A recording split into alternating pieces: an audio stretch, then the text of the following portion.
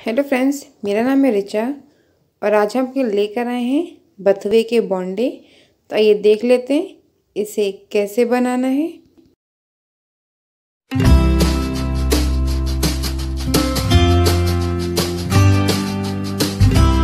हमने यहाँ पे आधा किलो बथुआ लिया है, इसे हमने अच्छे से धोकर काट लिया है। इसमें हम डाल रहे हैं एक कप सूजी। सूजी मोटी बारीक आप कोई भी ले सकते हैं, एक कप बेसन इसमें हम डालेंगे एक चौथाई चम्मच अजवाइन, एक बड़ा चम्मच नमक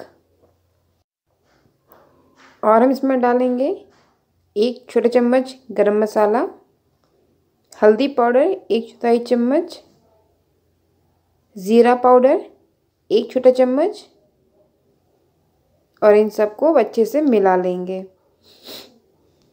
हमने यहाँ पे एक चौथाई चम्मच लाल मिर्च डाली है। और इनको मिला देंगे। मिलाने के बाद दस मिनट के लिए छोड़ देंगे ताकि जो बथुआ है वो अच्छे से अपना पानी सो, छोड़ दे और हम इसे इसके पानी में ही अच्छे से सान लें। तो देखते हैं दस मिनट बाद कितना पानी ये छोड़ता है। तो दस मिनट हो चुके हैं और इसने अच्छे से अपना पानी छोड़ दिया है। अब हम इसे अच्छे से मिला रहे हैं तो इसका डो जैसा तैयार हो रहा है। हमने यहाँ पर थोड़ा सा पानी डाला है, करीबन दो बड़े चम्मच। इससे ज़्यादा पानी की ज़रूरत नहीं है इसमें, नहीं तो फिर इसके राउंड राउंड से बाउल नहीं बनेंगे। तो ये हमने इसे अच्छे से मिक्स करना है ताकि ऊपर से नीचे तक पूरा ये मिक्स हो जाए और मिक्स करने के बाद हम इसकी छोटी छोटी सी बॉल तैयार कर लेंगे। तो आप हाथ को धो करके बॉल तैयार कर सकते हैं और हाथों में ऑयल भी लगा सकते हैं। इससे ये हाथों पे चिपकेंगे नहीं। तो देखिए, ये अच्छे से गूद चुका है। अब हम इसे बॉल तैयार करते हैं। तो देखिए आपको सिर्फ़ दिखा रहे हैं कि हमें कुछ इस तरीके की राउंड राउंड सी बॉल तैयार करनी है और फिर हम इसे तलेंगे। हमने यहाँ पे तेल पहले ही गर्म होने के लिए रख दिया था।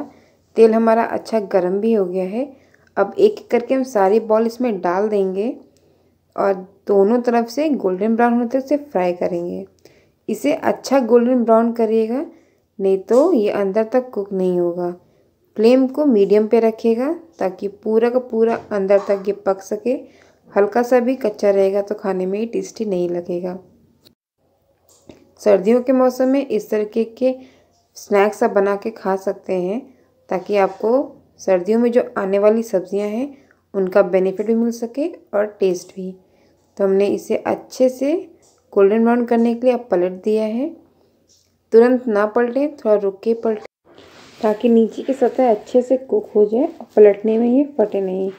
तो देखिए हल्का हल्का से गोल्डन ब्राउन होने लगे हैं और इन्हें इसे किसे पलट पलट के हम अच्छे से गोल्डन ब्राउन कर लेंगे और फिर इन्हें दही चटनी के संग सर्व करेंगे खाने के लिए। तो देखिए अच्छा कलर आने के बाद अब इन्हें निकाल लेते हैं। कलछी को साइड में निकाल के सारा तेल इसका निकाल देंगे और फिर इन्हें सर्व करेंगे। आप इन्हें टिश्यू पेपर पे भी निकाल सकते हैं। तो ये देखिए, बन के तैयार है हमारे बथुआ के बोंडे। अगर आपको मेरी रेसिपी पसंद आई हो प्लीज़ चैनल को like share comment subscribe bell icon दबाना ना भूलिएगा, ताकि मेरी आने वाली लेटेस्ट वीडियो की अपडेट आपको सबसे पहले मिल सके। Thank you for watching my recipe I hope you enjoy